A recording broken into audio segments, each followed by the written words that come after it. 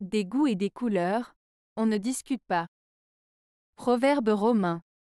Le proverbe, des goûts et des couleurs, on ne discute pas, signifie que chacun a ses propres préférences et opinions personnelles, qui ne peuvent pas être atteintes ou argumentées facilement.